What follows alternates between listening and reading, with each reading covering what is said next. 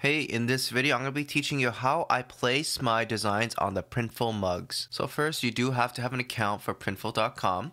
And then once you have your store set up, I'm going to go to stores and I'm going to click on add product. Once you press on add product, you're going to actually go to this section right here where it says home and living. And then you're going to press coffee mugs. The one I like to use is the white glossy mug. So I'm going to click on this. So after that, you're going to click on the 11 ounce and the 15. And then after that, you're going to press drop your design here, press on it and upload your design. All right. So once my design has been uploaded, it's going to go right to the middle. And so what I want to do, I want to put on one side. So I'm going to just put this on the right side. And my goal is actually to duplicate this to put on both sides. But for now, I'm going to work on the first side. So I'm going to make this as big as I possibly can without it making it look awkward. And I'm using my arrow keys right now just to even it out. All right, I think that looks okay. So just to check, I'm going to go to this 3D view here. And I think that looks pretty good. And I can also go to mockup view just to double check it. And if you go to the bottom, you can see these pictures right here just to see what it looks like and I'm really liking how it looks just from the pictures. Alright, so as I said before, you can just do one side and then you can also do a duplicate. So I'm going to press this duplicate button and now it's going to appear on both sides of the mug. So again, you're going to just press duplicate and that's how you make it appear on one side.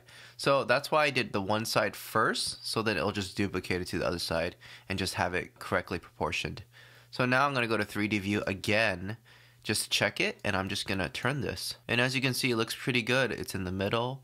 It's aligned and if I go back, same exact thing on one side. And then I'm to go to mockup again and I like how this looks right here. Check out the different mockups and it looks pretty good. Also, you want to make sure you want to select the other size right here. So if I select 15 ounce, you're going to see that it actually did not change anything at all for the 15 ounce. I only changed it for the 11 ounce. So I'm going to click on 15 ounce again, and then again do the same thing, make it big enough. So that looks pretty good. So right now I'm to check it, go to 3D. I think that looks okay. Maybe I'll shrink it just a little bit. Center it to the middle line right here.